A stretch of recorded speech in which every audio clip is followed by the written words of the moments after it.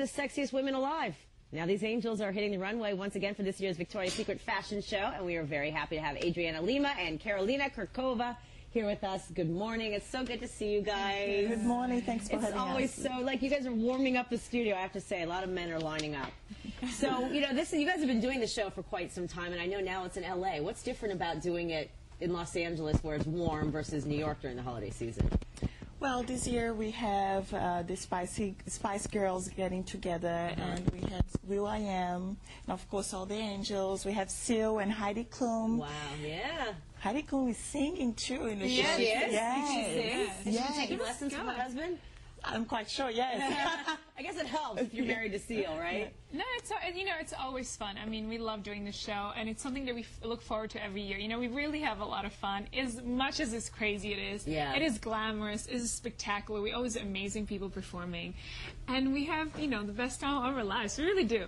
It's great. Have you ever had, I mean, any moments? I'm sure adrenaline is kind of, you know, working while you're doing this, but have you ever had any accidents or wardrobe malfunctions or bra coming unattached or anything? I did last Oh, year. You did? What My happened? shoe fell off in the middle of the catwalk. Literally, I had one shoe on and one it was bare feet.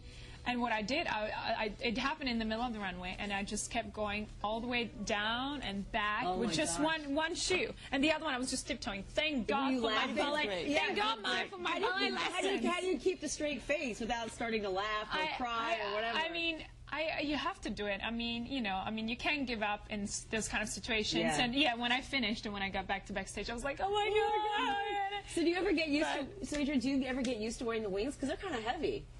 well, this year she wore the heaviest one. And the It tallest, 30 pounds. Oh, oh I had four guys holding it.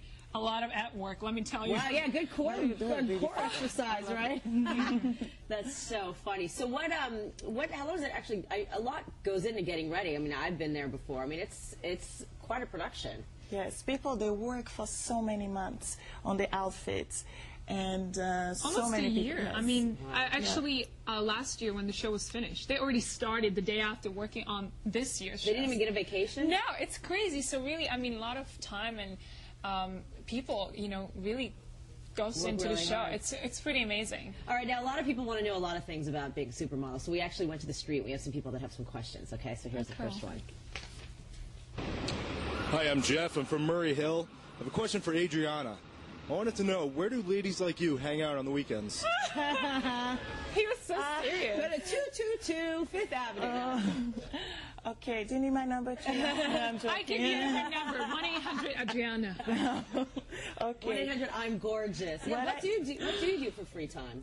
Oh, believe it or not, uh, I work on the weekends too. Really? I work on the weekends too. But you know, sometimes if I have that one day off, I stay home. You know, because I'm always traveling. Like, do you actually hang out like in flannel pajamas and watch yeah, like I wear my pajamas, yes, and then I watch Brazilian soap opera. okay, yeah, she admits it. All right, we have another question.